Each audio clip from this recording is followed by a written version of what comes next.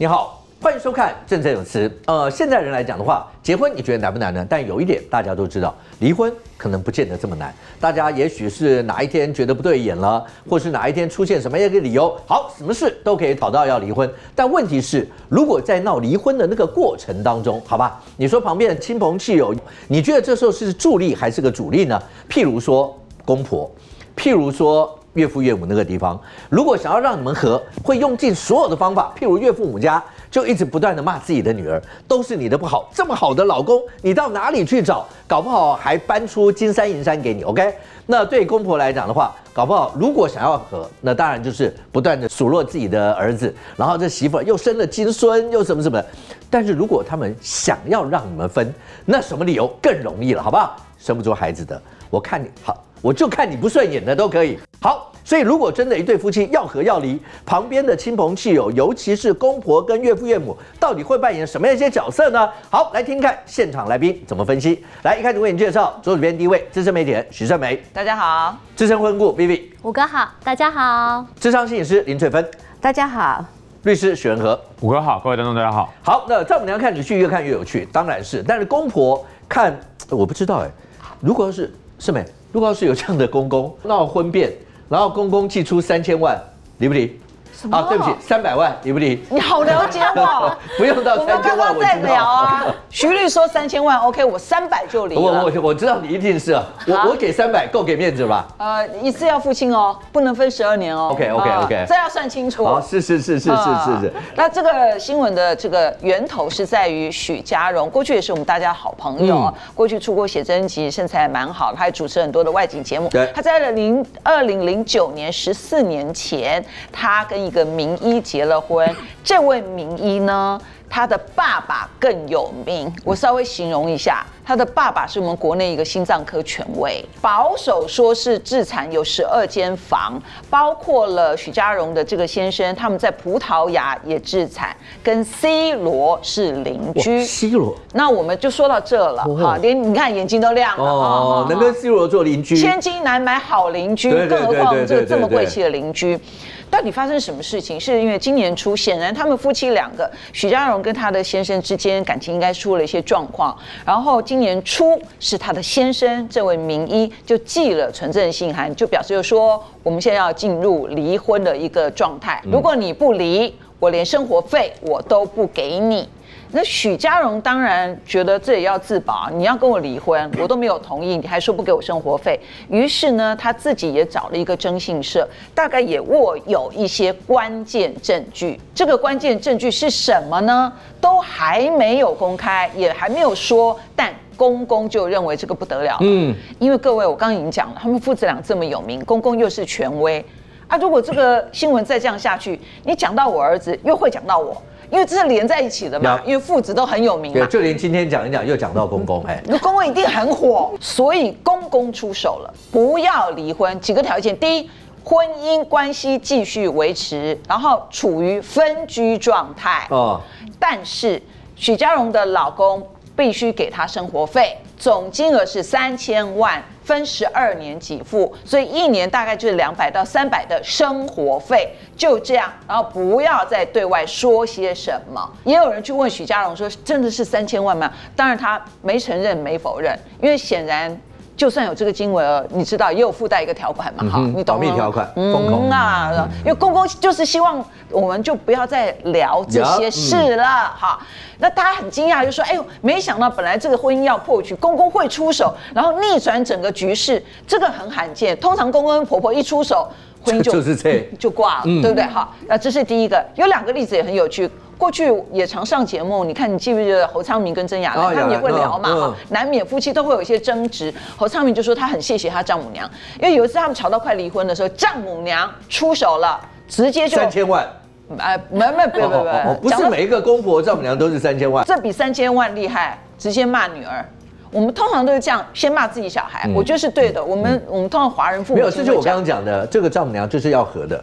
对，要促成和的，一定就一定就是自己先骂自己小孩。接下来你生活绝对超过三千万，侯昌明多好啊，对不对啊？这个婚姻就继续维持下去。然后最近陶喆他自己有一个记者会，就提到说很谢谢他的太太，因为过去陶喆有传出来跟一个杨子晴哈有一段不伦恋。然后陶喆说，其实能够维系这个婚姻最关键的，还是在他岳父跟岳母愿意原谅他。哎，这个不容易哦，因为我们都知道佩妮是富家千金嘛，所以这个婚姻的关系能够维持，这个公公婆婆、岳父岳母的出手，你看多厉害。嗯，OK，我跟你讲，你光看出手那个对象。你就知道这个公婆或岳父岳母是要和还是要离。对，如果出手是骂自己小孩的，那是希望要和。对，如果出手就直接讲，你这个呃，譬如岳父岳母，如果一出手就是骂老公的，我的女儿在我们家捧在手心里，到你地方给你糟蹋成这个样子，我那就算了，好吧？那这就找一个帮手来打了，感觉到找个打手来的。baby，话不说说，大家都希望婚姻幸福，可是像这样子走到这一步，三千万离不离？三千万给我，我会离。啊，真的吗？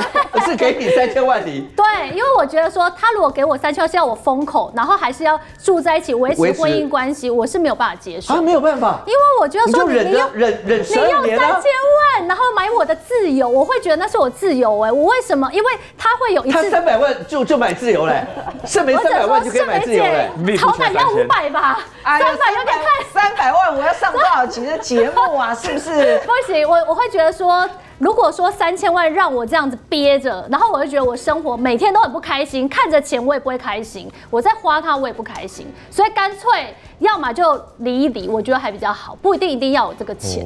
对我来说啦，对你来说。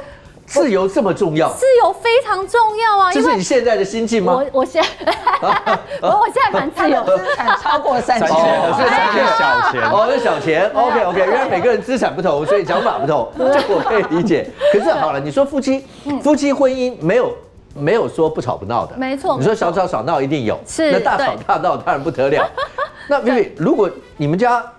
吵吵闹闹的过程当中，你爸妈会像谁？我觉得我爸妈是我们村的神队友。我老公很像一开始就很有我爸妈的缘，因为我们刚开始交往的时候，那时候很夸张，我们才交往一个多月，然后我就把他带回家给我爸妈看，因为我们家是住在中部，就我是云林人，然后我们就回去看一下我爸妈，之后回来台北路上才开车大概一个多小时，我爸妈电话就来了，然后我爸就打来就跟我说：“哎，我告诉你。”我觉得啊，这个男生很不错。你们回台北之后，就赶快去合个日子。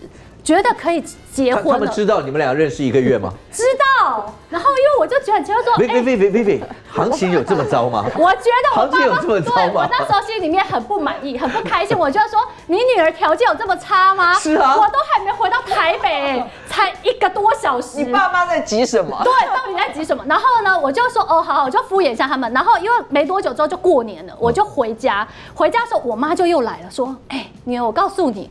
跟你说，你上次带回来那个男生，我真的觉得很不错。你如果不好好把握，小心被人家抢走，你知道吗？那我就跟我妈说：“妈，我条件有这么差吗？你们一定要我立刻嫁给他？”我妈说：“没关系，我帮你想好了一个方法。你故意婚先怀孕，不是？不是，没那么夸张。因为他也知道我们交往时间很短。他说：你们呢，就看一年后结婚的日子。”然后这一年里面，对不对？先把它定下来嘛。这一年，如果你真的觉得他不不 OK，那时候反正婚姻还没结嘛，随时要反悔都来得及。可是你定下来，至少让他不要跑掉。这样，我想说，我爸妈真的也也太爱他们。Baby，你让我不禁怀疑，只有两个，因为你的你的样子大家都看得到啊。那这又不是又不是长多丑，对对对。那我只只有另外一种可能性。是什么？你以前带回家的都是拽拐瓜裂枣。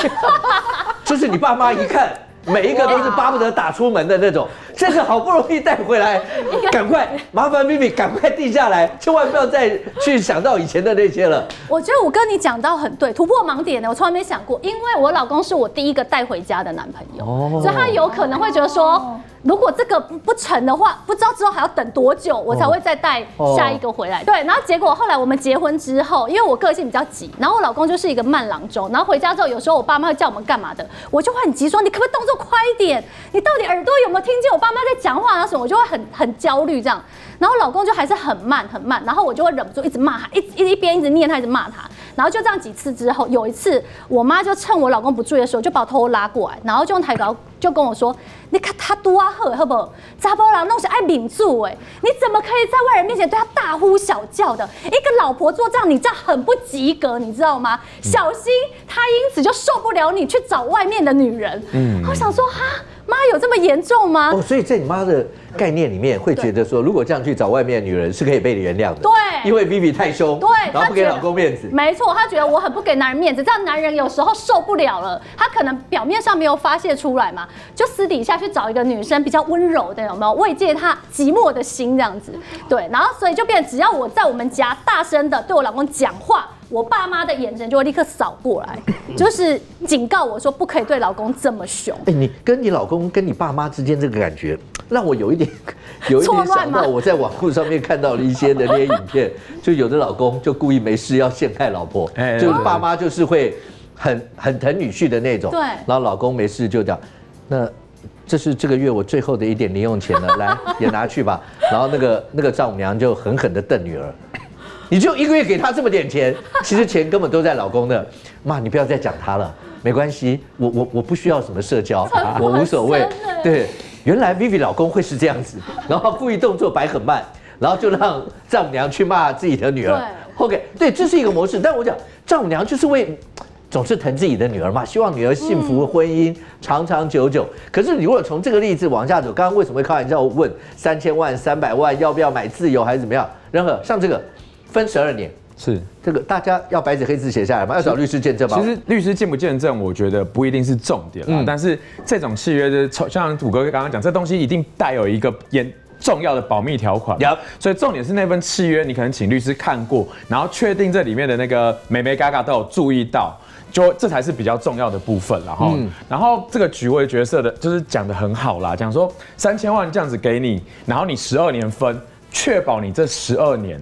绝对不会反悔。任任何你说这份 这个这个内容，我们这样讲，三千万分十二年，婚姻维持着，但是分居状态。嗯，是你告诉我，这个婚姻维持的目的是什么？就是维持一个十二年的婚姻不变吗？其实这我们已经讨论很多嘛。结婚的目的到底是什么？嗯，一个月一年给我三百万，我我也可以啦。不要 看，就是对不对？就是有时候很难说他的目的是什么，但是至少确保这十二年当中他们。呃，公公要的形象、要的证据也都不会泄露出去嘛，就是互相得到他的目的，然后一方得到钱，嗯，好吧，有人觉得可能这个违反公序良俗，但。某种程度上，以他们家的经济实力，又好像也还好啦。而且实物上，大家很多想说分居很久可以可以离婚。其实我一直跟当观众朋友提醒一件事情，就是分居不会是离婚的事由，嗯，而是法官用分居来判断说双方的婚姻是否不可维持啊。我常常举例哦，就像我个老师，他住台北，他当台北的大学的教授，太太是南部大学的教授，他们从结婚一直以来都是分居啊，但是他们感情很好，每周还见面一次，所以那个分居不能构成离婚的事由。所以我也是提醒一下观。众啊，那像我自己的情形呢？我的岳母，我的岳母，呃，岳母也跟 Vivi 的那个岳母很像啊，所以你也是陷害老婆的那种老公？也不是，就是我会故意假装我们吵架，再故意让别人吵，然后我岳母都会假装，哎，就会去念我老婆啦。那但是我我跟你讲，我还原来律师过分也会来对啊。我要讲，有一次我偷偷听到他跟我老婆讲说，哎，我对你老公好，还不是为了你，这样子我对他好，他才会对你好啊。哦，只是他们婆婆有他的，你就抓到了这一点，我抓到这一点，所以每次有事我都。无病呻吟，徐仁可。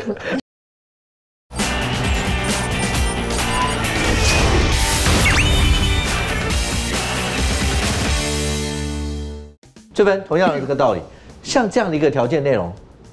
这还叫婚姻的家吗？不过因为先生已经情感撤离，也不住在家里分居，但是因为公婆出手挽救而不得不为时的话，其实最常见的就真的会很疏离、很冷漠。当然了，其实也不是只有呃嘉荣他们家会发生这样的事情。我其实智商的过程中也有遇过这样子，就是不住在一起，但是因为爸爸妈妈出手，所以还是夫妻。那这时候就会出现一个，就是先生常常冷漠到什么程度呢？嗯。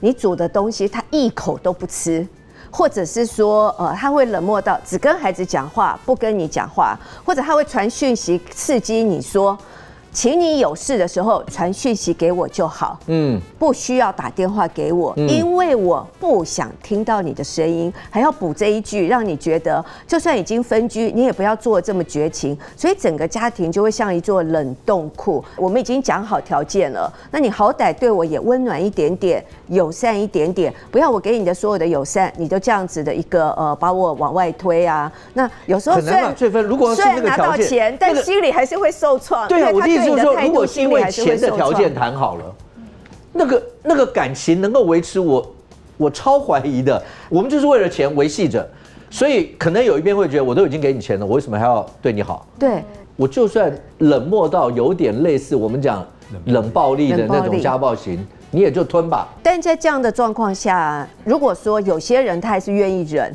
主要是为了孩子，因为可能公公婆婆会觉得说这样对你的孩子也比较好。但是我这边要提醒的是说，这样的冷暴力或者是说家庭像冷冻库，其实对孩子也不好。嗯。因为像有些小孩处在这样的状况下，他会不知所措，嗯，他也不知道说，呃，当爸爸对他好的时候，他要接还是不要接？因为接了之后又觉得对妈妈不好，所以其实还蛮多小孩会有一个状况，就是到学校之后。后，他跟同学也会不知所措，嗯，所以他们常常也会不知道怎么跟别人建立呃人际关系，还有在内心深处啦，看到爸爸妈妈这样冷漠冷淡，其实孩子也蛮多个性上会变得比较安静内向，也比较不敢跟别人建立关系，然后所以他们内心其实常常是很孤单沮丧的。可是盛梅刚举的几个例子，譬如陶喆，嗯，那是媒体上有报道嘛，就已经已经有不伦恋的，他岳父母还来帮。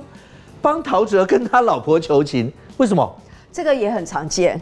是哦，嗯，很常见，因为非常多的岳父母会关心女儿的一个呃幸福，婚姻的幸福，所以他们非常非常害怕说，当女儿如果有情绪，女儿吵或闹，或是女儿回家来诉苦，会因为这样子而破坏了她的婚姻幸福。她都外遇了，对，没有错。所以当这样的时候，我很常听到几句话哦，你听听看，爸爸妈妈当女儿回来诉苦，或者是说讲一些呃先生怎么样的时候，他会说人回来就好了。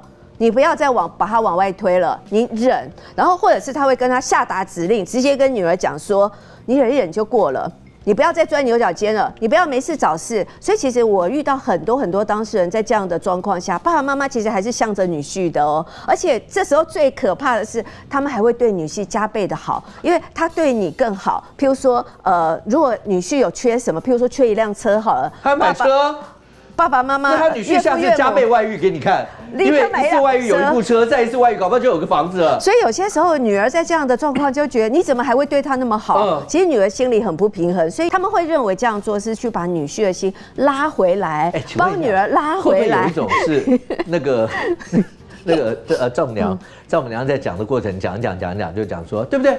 像你这样还算好的，你老爸。他都已经不知道外面跑了多少次，他这么有几个，我还不是忍到现在。你看我跟他还不是好好的，我觉得有的会，也许是以前他们自己有过一些什么样一些例子，他觉得那那就这样嘛，老公就是一丈之夫，出去回来就好了。其实我有遇过的，就是说公公本身自己也有外遇，所以当他儿子有外遇的时候，他就说：“哎呀，这种男人的心理我最懂了。”嗯，他就是出去玩一玩。哦，玩个几年就会回来了。哦，那你这时候呢？他在玩的过程中，你就睁一只眼闭一只眼，不要太计较了。哦，他之后就会回来。那有些时候，我们来帮他对你好。这样好吗？当然不好啊。所以有些时候，我觉得爸爸妈妈在里面啦，他们也真的好心好意，但可能媳妇的心理上还是非常的委屈难熬的。我可以想象了，就是其实父母不管哪一边，你说都是希望那儿女说婚姻能够幸福美满，只是发生比较极端的一些状况的时候，你还要去护着这些生活啊，你说有没有拿钱出来解决的，拿什么来解决的？好了，但是毕竟来说，是美，你看到猪队友的比较多啊，或是直接。讲白了，两边任何一边出手，就是叫你菜的。这种最正常了吧？对啊，大部分其实公公婆婆或岳父岳母出手的，一般来说就是要你们离婚。对啊，为什么这样讲呢？这是一个例子，是这个人妻她也蛮哀怨的。她说她跟她的老公感情蛮好的，然后他们就是一个中等家庭，哈，经济环境就还 OK。主要是她的公公婆婆对她非常好，平常呢也不太会让她做家事，然后把她当女儿，感觉就是幸福美满。好，问题来了，第一，她的老公是独生子。第二呢，五年了，他们一直没有孩子，所以公公婆婆表面上不说，但各位他会不会急？会，嗯。接下来呢，当然这个这个人妻就说，她跟她先生就决定说，那我们去至少检查一下，到底是谁的问题。哇，最后出来是这个人妻自己本身可能在受孕方面几率比较低，所以显然问题在这个人妻身上。但是老公都会说很漂亮的话，老婆没关系的。哦，我们就再努力。如果努力还是不行呢？这也是命，就算了。嗯，所以其实你听在心里还是觉得很温暖。然后公公婆婆都没说什么，哎，真好。结果呢，他们这么简单的一个家庭，他们把他们老家有一阵子就是老家那个土地也涨了，就卖掉了。然后呢，他们获利是五百万。OK。所以对这个人气来讲，就说，哎，不错啊，这样子婆家其实生活方面都不错。结果因为他是跟公公婆婆住哦，有一天晚上，哇。感觉那个气氛就怪怪的，因为公公跟婆婆就坐在客厅等她，老公也提早回来了，她就想说，现在是因为有了五百万，所以我们要出国去旅旅行吗？嗯，因为感觉是这样嘛哈。结果呢，公公婆婆就直接跟这个人妻讲说，哎，你嫁来我们家真是辛苦，漂亮话公公婆婆都会讲，你真是辛苦了，然后你也把我们照顾得很好，真的蛮好蛮好的。讲完之后，公公拉着婆婆，不夸张，先跪下去。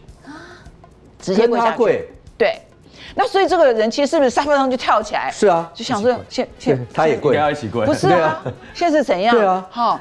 然后婆婆来讲，你什么都好，你也知道你真的什么都好，可是你知道我们家世代都单传，你没有生个孩子，没生个娃，对不对？我们没有孙子，这我们怎么跟我们列祖列宗交代啊？那这样好不好？我们现在卖了老家有五百万，我们呢拨两百五十万给你，拜托你离婚，你离开我们家，拜托你。所以该不该跪？要跪嘛。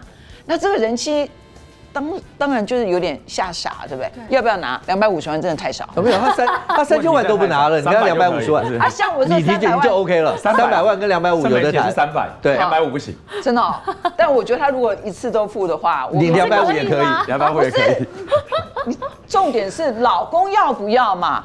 好，老公回来了，因为老说话，我全家都在嘛。对啊，而且老公有讲啊，我们就一起努力，如果没生也没有关系啊。所以她应该看着她老公，老公也跪了，老婆，好吧，我也没有办法，你真的很好，但因为我们没有办法生下我们的孩子，对这个家真的是哈，也是两难。老婆，我对不起你，那对不起讲完之后，你就两百万拿了就走人啦，两百五，啊，两百五十万拿了就走人，离婚。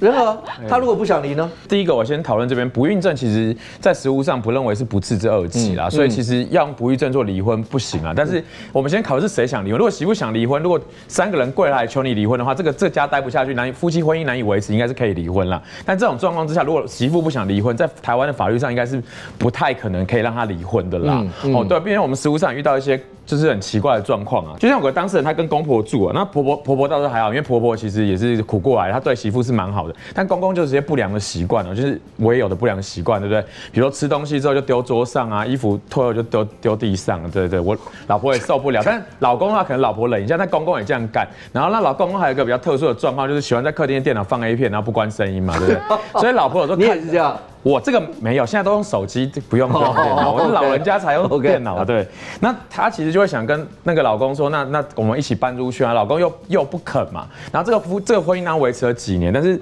维持几年之后啊，那个老婆就想说，哎，发现老公有外遇，嗯，哦外外遇好，那可是老婆也觉得说啊，那个婚姻维持那么多年，小孩也生了，那就也没有要离婚。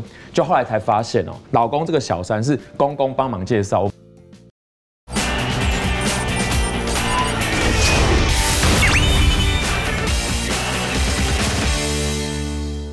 就后来才发现哦，老公这个小三是公公帮忙介绍，我爸就都没那么好，对不对？然后他就问公公说：“哎，你怎么可以帮我老公介绍小三？这公公怎么当的？”他就说：“没办法，人家比你长得漂亮，那嘴话讲话又甜，我就是喜欢他。”哦，他因为一气这句话听完之后大崩溃，一气之下就去提离婚了。哦，这个这是很特殊的状况啊。好，好，是。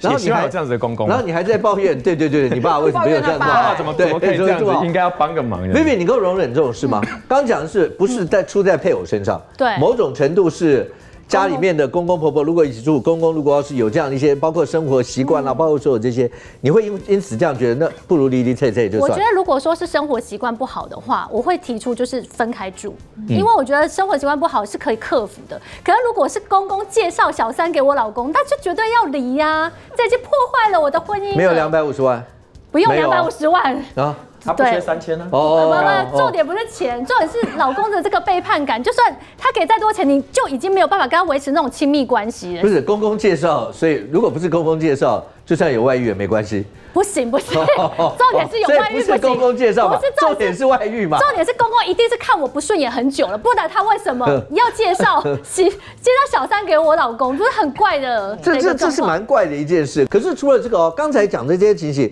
这边我就问一下，有这么极端需要搞到这样吗？生不出小孩？嗯，我本来都以为，你知道，在台湾社会，对你听过有生不出，如果就是单传，他可能一跪下来两百五十万，然后就说，要不然你就让他在外面就再找一个生一个小孩，让我们回来，我们家总好让列祖列这种交代。结果这个不是，这是一跪下去，而且长辈都跪下来，然后直接说你闪人，我就是要帮他再找。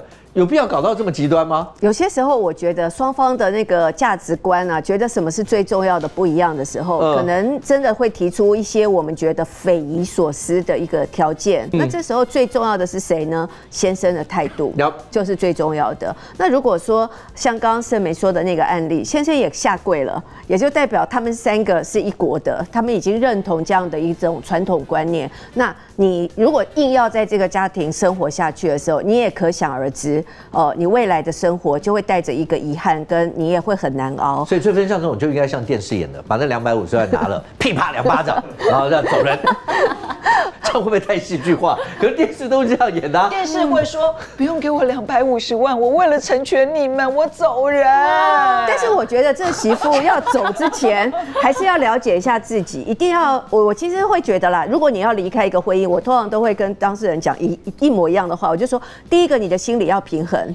你不要带着大量的情绪出，就是离开这个婚姻。你如果一旦踏出去了，你所有的情绪不会消化不见，OK，依然存在。所以有可能你后半辈子都会在这个遗憾懊恼。如果你觉得我不应该离开，那你就会一直陷在里面，你走不出去，你也找不到下一段恋爱。嗯，就觉得大家都会劝他，哎，你离开之后海海阔天空。你如果要离开海阔天空，你在婚姻内在决定走出去的那一刻。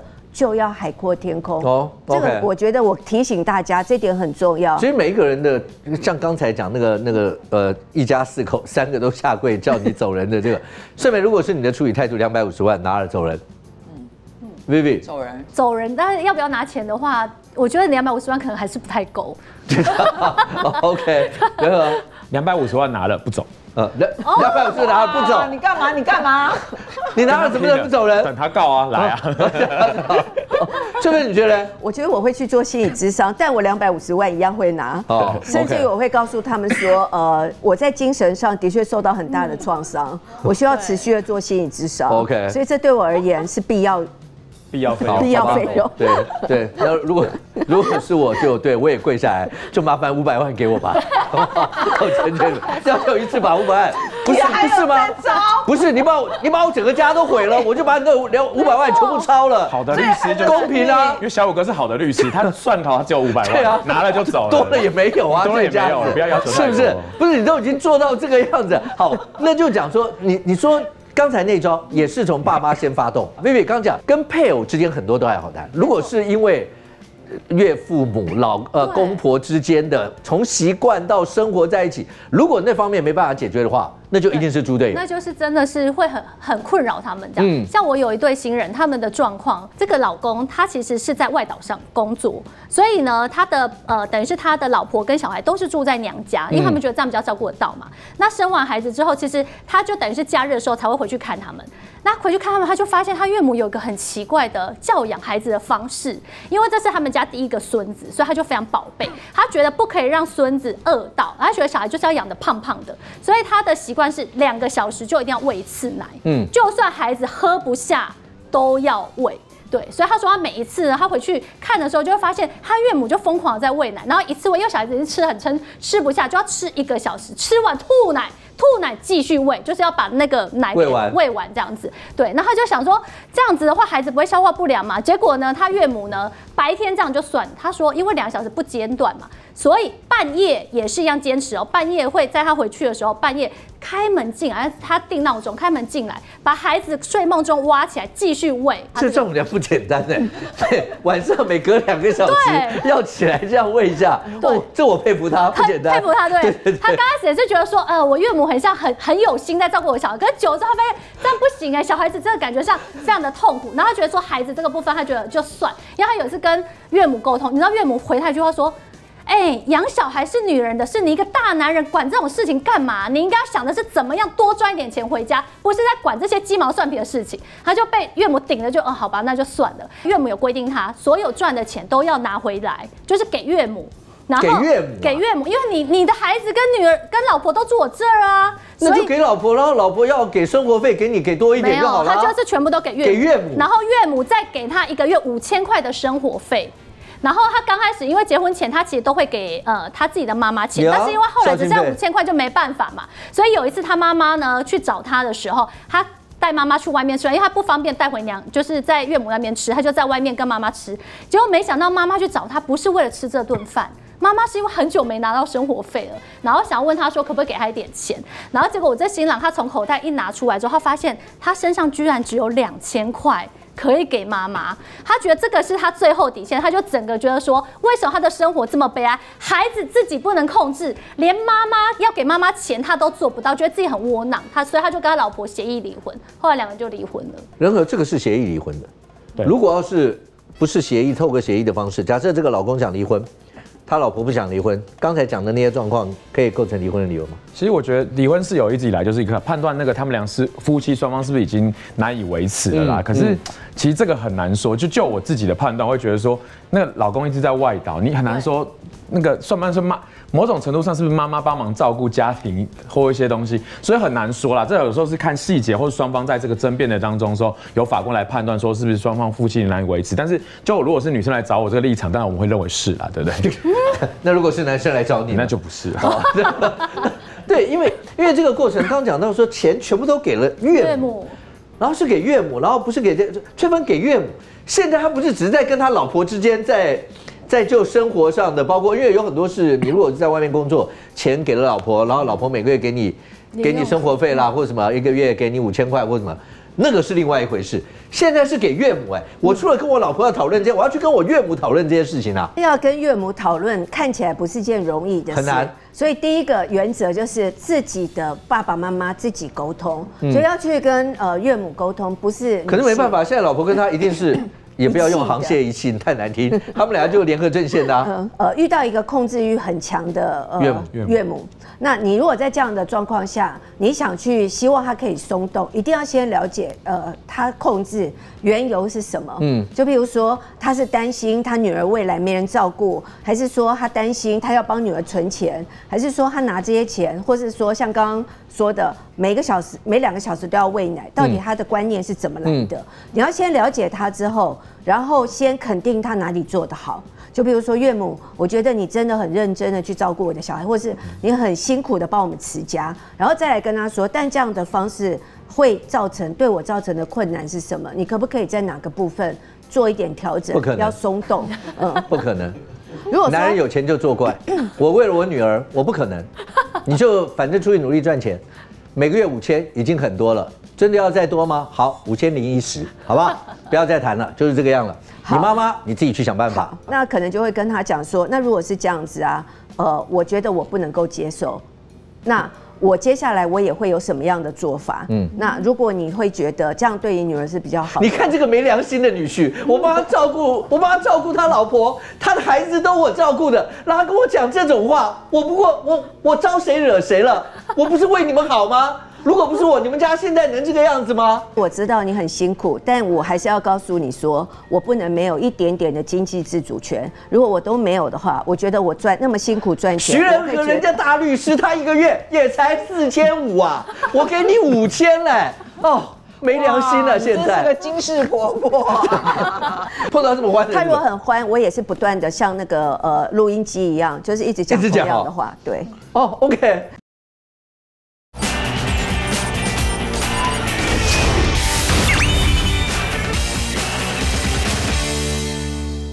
您只要长期看节目都知道，我们大家常常讨论公婆，尤其婆媳关系，大家都知道谁能搞定婆媳关系，那诺诺贝尔奖一定是你的，好吧？可是真的是只有婆媳吗？是没？我刚才那几个都是岳父岳母啊，岳父岳母在这里面。扮演的那个好讲讲白一点，如果他这时候扮猪队友，真的很恐怖啊！这个人夫他在网络上抱怨说，他跟他的太太结婚之后，因为他们本来就没有太多的这个钱能够买房子，所以他们就很努力的存钱、存钱、存钱。所以岳父岳母也都知道，那现在他们钱大概存的差不多，他们决定要去买个房子，要付头期款了。然后他跟他太太讲好，就说因为。这个头期款是我们两个人一起存的，嗯，所以我们这栋房子是共同持有。但是马上有一天，岳母击扣他，想要跟他聊一聊。好，岳母就找了这个女婿，就跟他讲说：什么？你买房子共同持有？嗯，金马奈安内，嗯，没有人这样啊。我们家买房子都是我的名字啊，人家所有人买房子都是老婆的名字啊。你现在是要干嘛？你为什么要两个人的名字？你在防你老婆？哦，你这种做法不 OK 哦。你如果要这样下去，我建议你们离婚算了。其实呢，这个岳母是好心想说哈，如果是共同持有，我女儿没有安全感，所以她去出面来说服她的女婿说不用这样嘛，是不是？都已经结婚那么多年，你知道这个女婿一听啊，就觉得你根本情了啊。嗯，你知道这个人夫最后啊，心里的打算说，那我们就离婚好。哎。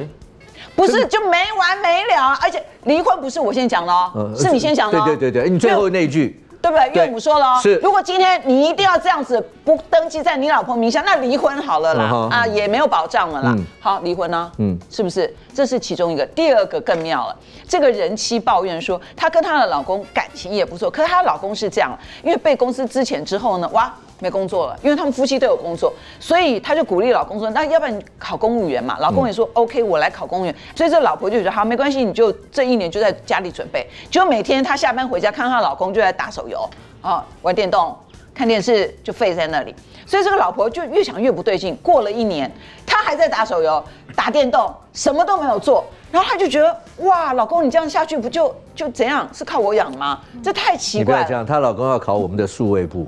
哦，打手游很重要，他要了解现在的那个。他怎么花一年都考不上啊？是不是？还在准备中。好，那这个人妻就后来就跟老公吵架，他们就分房睡，而且人妻就说：“你如果再这样下去，那我们离婚。”显然，这个老公呢就把这个事情就跟他的爸爸妈妈讲，嗯，所以也马上他就被婆婆约谈了。那婆婆马上也跟这个媳妇讲说：“媳妇啊，你没听说吗？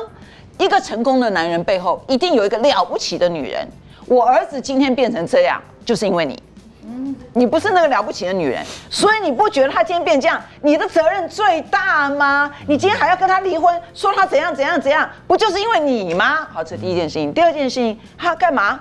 反正你们也没有小孩嘛，所以现在就是不用养小孩，养个老公会死啊，是不是？哈，离什么婚呐？你觉得呢？婆婆都在这样讲，对不对？好，这个新闻最后怎么样？嗯，离婚。嗯哼，有这个婆婆还需要敌人吗？嗯哼。对，而且这些长辈为什么每次讲话讲出来，到最后哲理哦。对，而且到最后都是，要不然就离婚。因为离的都不是你们家的婚，都是你们家下一辈的婚。可仁和刚才讲的那个房子。那房子有没有什么解决的方式？这是有什么担心的？我的我的我的房子也登在我老婆名下啊，对不对？刚刚那些都不需要岳母说，我老婆跟我说，那不然不要结婚啊，对不对？哦。但解决方法也不是说解决的方法，因为无解。大家都会以以以为说，我们很多观众朋友都会以为说，我们买一个房子就是针对那个房子分一半嘛。但剩余产分配的概念不是房子分一半，而是所有财产的差额的一半嘛。嗯。那我就不要有财产就好了。嗯那房子我还是分一半嘛。我结离婚后财产最后，如果离婚的时候我名下零，他有那栋房子，我就直接分他那房子的一半，所以还是可以解决的。哦，到时候找律师商量一下就好了。崔芬，那是 emoji 吗？就是如果赵仁和那样讲，反正就是到最后房子就还是大家一半嘛。OK，那剩余财产的问题。可是当当下。当丈母娘就直接跟你讲说，你这样子是怎么样防着我女儿吗？你如果真的爱她的话，不就应该是这样吗？人家电视上都这样讲的啊，徐仁和大律师也是这样啊，对不对？他要不然连老婆都娶不到啊？怎么样？你现在是吃到嘴巴了，然后接下来就什么都不珍惜了，是不是？其实我有时候会觉得啦，公婆或者是岳岳母。常常会呃成为一个挑拨离间的一个呃夫妻。但是他不知道他在挑拨离间，他不知道他在挑拨离间。挑拨离间呢，最破坏就是他们之间的信任感。譬如说，你看他不把房子登记在你的名下，就代表他有二心了，就代表他要在外面养小三。所以这种挑拨离间真的非常非常长，会造成夫妻之间的冲突矛盾。也有一些呃爸爸妈妈会把孩子当成附属品，嗯，那他就会挑拨你哦，希望你可以按照他所想要的来做。所以他希望有人来照顾他，可是他不会直接讲说你们可不可以来照顾我，然后他就会开始挑拨，就是说你看我躺在床上都没有人照顾我，我死了也不会有人管的，你们都过着自己的好生活，那你们去好好的享受你们的人生好了，不用管我好了，那。当他这样讲，女儿就说：“妈，我来照顾你，我来照顾你。”他说：“哦，可是女儿，你要忙你自己的事，你可以请你先生来照顾我，带我去看医生吗？”后来他们夫妻一定会吵架，吵架之后，最后就说：“那你这样都不照顾我妈？你也不爱我，你要爱屋及乌啊！”最后真的会很多时候真的会发现很多这样的情形，就会让他们的感情就真的越来越坏，最后就埋下离婚的导火线。OK，当然有很多时候你说如果是两边大家各自在去做条件的比拟，那也很麻烦。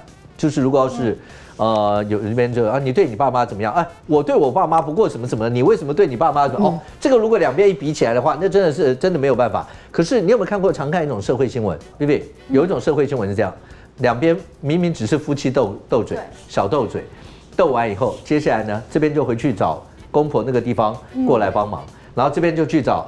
丈母娘，然后岳父岳母过来帮忙，结果呢，这两小两口还没谈完，这两边的人先碰面，碰面以后各自觉得自己家人受委屈，没错，轻则大家吵架，嗯，重则大打出手。很多都是这个样子的。对，没错。我有一对新人，他们离婚真的是，我其实觉得听起来蛮可惜的啦。他们刚好呢，你知道他们是从小到大长大的时候，他们是呃楼上楼下的邻居。哦。岳父岳母是住楼上，然后公公婆婆是住楼下。那他们也因为这样子常常碰面，什么就日久生情，然后两个人就结婚了。那刚开始大家觉得说这是一桩美事，我们从邻居变成亲家，多好对，而且女儿要回娘家多方便，对不对？上个楼就回去了。所以刚开始岳父岳母也很开心，就。有一天呢，他们就突然发现岳母她迷上了跳那个，就是跳舞就对了。哦，在家里面有时候会练舞。那公公其实是一个比较敏感的，就有一点点吵闹声就会觉得说，哎，怎么会这样？就发现哎，楼上最近怎么震动声这么大声？然后他就有上去就问一下说，哎，亲家母，那你最近怎么楼上会这么吵？这样他说哦，因为他现在学跳。他说哦，因为我最近呢就是呃比较容易累，睡眠比较不好，不晓得你可不可以小声一点？就岳岳母想说不行啊，我在自己家跳舞，到底干你什么事？表面上。上就 OK，可是心里面他完全不这么做，他还是继续跳，所以呢就变成说，哎，他们两家就开始因为这个噪音问题，然后就开始有隔阂。那有一次他们两个人出去吃，就两家一起出去吃饭的时候，那因为老公其实就是比较贴心，他就帮老婆剥虾。结果呢，这个婆婆一看到的时候，就突然就说，哎，我养你这么大，你都没有帮我剥过虾，现在在帮老婆剥虾，就故意在那边冷嘲热讽说，哎呦，是手怎么样？是不是？我儿子又不是仆人，还帮忙剥虾嘞，吃虾是不会自己剥。然后那个。岳父有听到想说，哎，你儿子疼我女儿是天经地义的事情，怎么可以这样？所以他就记在心里面。有一次婆婆生病的时候，因为他们两个都是独生子女，婆婆生病的时候，当然就想说啊，那媳妇要来照顾我。这时候呢，岳母就刚好抓到这个关系，就说我女儿又不是看护，你生病找个看护顾你呀？你怎么叫我女儿去顾你啊？然后就两家就开始因为这些琐碎的事情就开始一直有一些口角这样。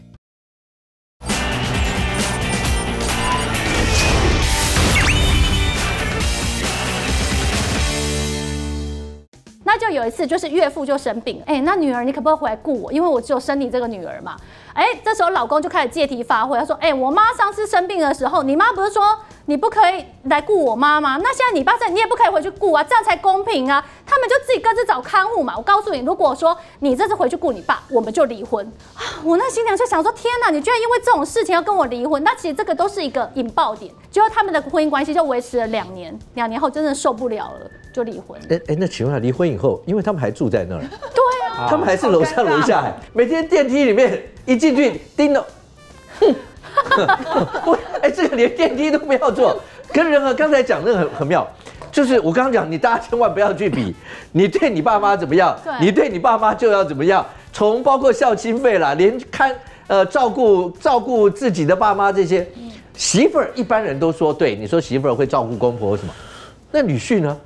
当当然要，哦，OK，没有没有，法律不分性别啊，对 不对？但但这其实就是不管是儿子，只要是去同居的，如果是在同居的状况当中负有抚养义务了。可是但是如果，当然我们还提醒你是，如果是老公死了、过世或是离婚，当然就没有了啦。哦，那不是基于身份关系来的那个义务啦。哦，但是我也觉得要哦哦，OK。而且我们在节目里有讲，对你说媳妇儿这个身份的时候。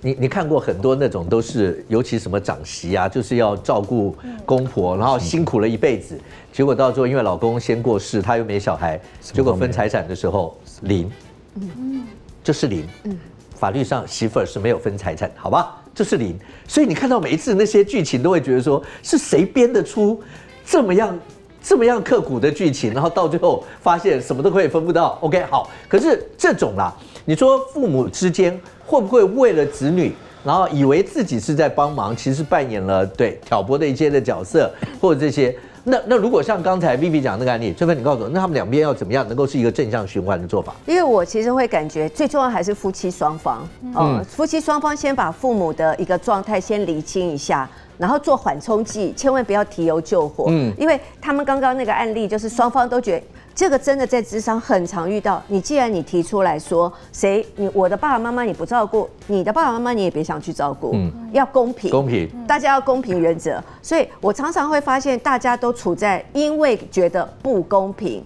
然后让情绪就会觉得越来越大。那不公平这情绪真的很难消除，所以双方就先把自己的情绪先消化掉。嗯，你没有情绪，你才能够去处理你公公婆婆、岳父岳母的事情。缓冲之后，了解他们最在意的点。如果发现他们是要公平原则，那我们就两个先讨论好，先有共识，怎么样是公平，然后再来看说接下来我刚刚有说嘛，各自己的父母自己沟通，那各自再去跟自己的父母沟通。嗯，OK，有一个人的例子可以提供给你做一个参考。唐朝的郭子仪，他的儿子娶了公主，有一天小两口吵架，以前就有家暴了，他儿子打了公主，在古代。他就算是你们家的媳妇儿，他还是公主。嗯，你打了公主，在他们那个时候是满门抄斩。郭子仪吓死了。虽然他是老将，把儿子绑了以后就送到皇帝面前，听凭皇上发落，孽子，意思就是死一个，不要死全家，好不好？你就砍了他就算了。然后皇上是个明理人，知道那个他也知道他女儿金枝玉叶，当然再怎么样都不能家暴。可是他也知道他女儿金金枝玉叶，一定是，一定是不把人家放在眼里。OK，皇上就说了，一直流传下来最有名的一段话：不雅不聋，不做家翁，就是当人家长辈的就装聋作哑吧。小两口的事，让他们两个自己去解决。这就是翠芬刚刚讲的，消化掉自己的情绪，再去顾好两家子的情绪。OK，希望大家。幸福美满，非常谢谢所有来宾，也非常谢谢观众朋友收看《正正有词》，我们下次见，拜拜。